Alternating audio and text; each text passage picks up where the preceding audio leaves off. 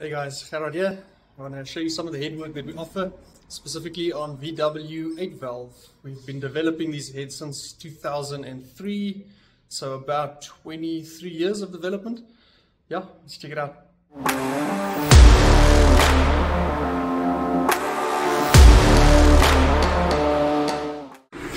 Okay guys, so this is uh, one of our sample heads, uh, displayed just to show what kind of work we do. Uh, here we got standard, stage 2, basic, stage 2 attention to detail, and stage uh, 3, which is just about always attention to detail. So, yeah, uh, VW 8 valves big in SA. I mean, the last Golf 1s they still made in, I think, 2009.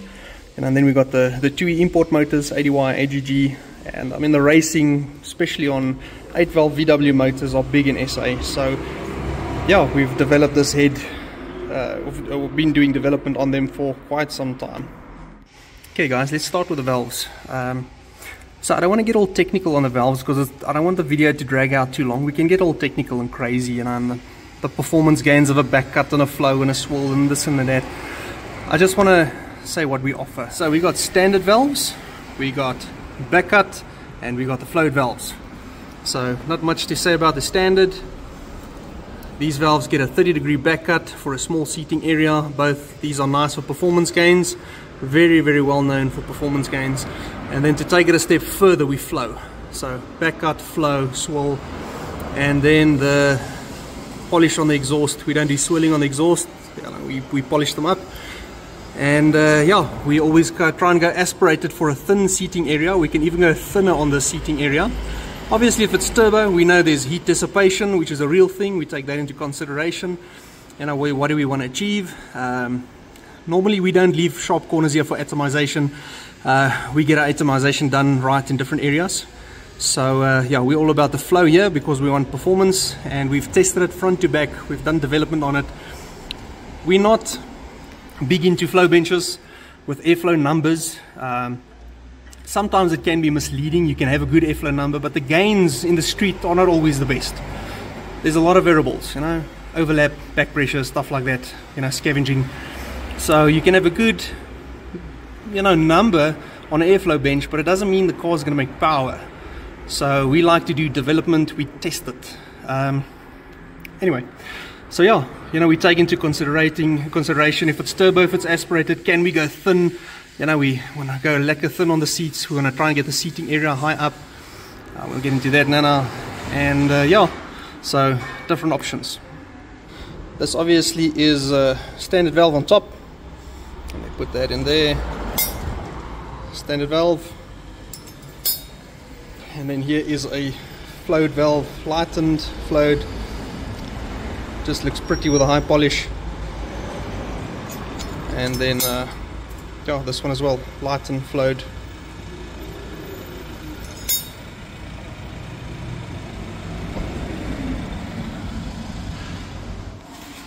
Okay, and then your combustion chamber, so that's your standard combustion chamber. You can see all these uh, corners here. This is actually not a bad standard combustion chamber. Sometimes they're horrible.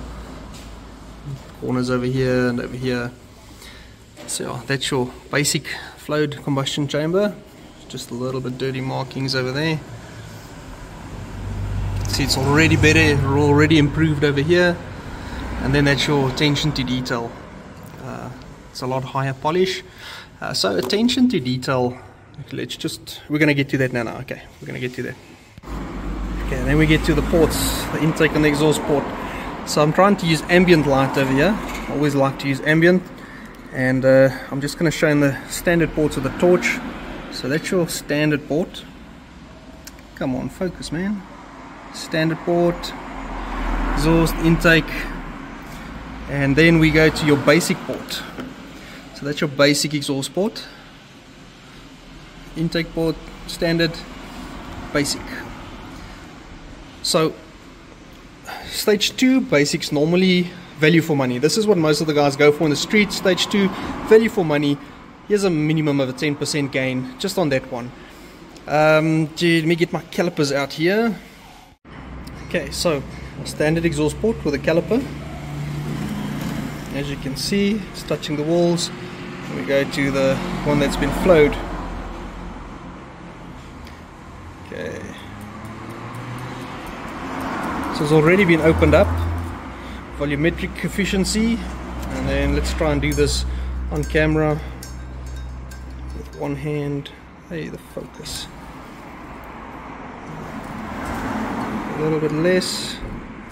There we go. Okay so touching the sidewalls over there. Standard port. Stage 2 basic.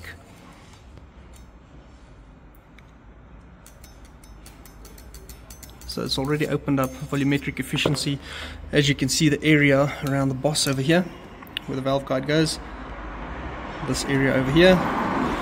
It's been improved already. See over here how it's been improved for the airflow. Uh, we've played with the Venturi as well. We get the Venturi nice a bit. Uh, the short turn radius you can't see it over here but the short turn radius is right on top over here with my pen.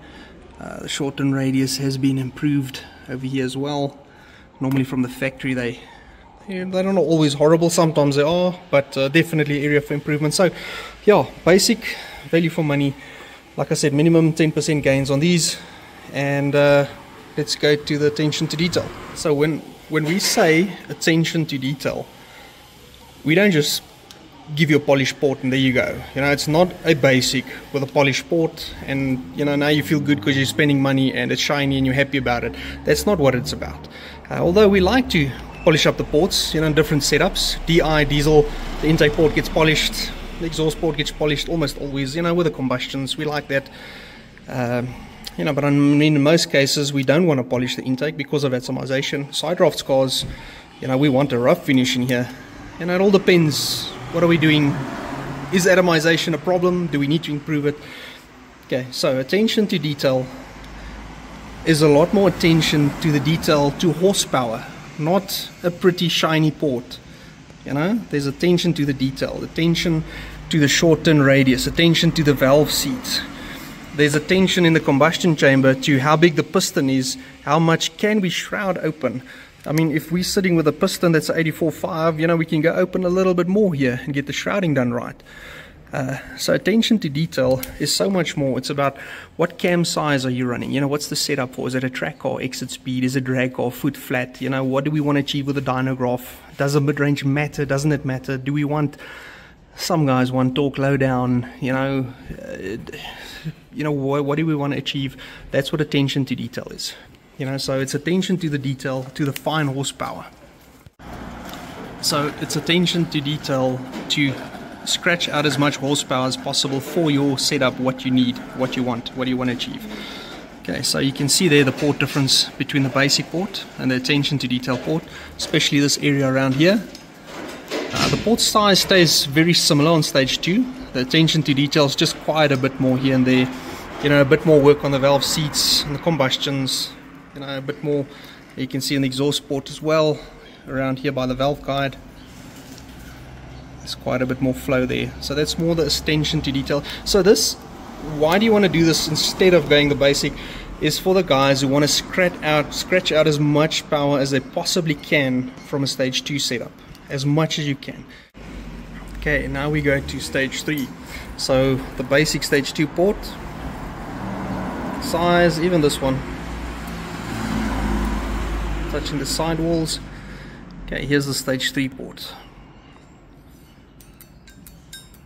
Even upgraded, even more bigger than the stage 2. You know, comparing this to the stage 1, let's just do that for fun of it. Uh, sorry guys, I'm trying this one-handed. Okay, so that's touching the sidewalls. That's your standard port, and here's your stage 3 port.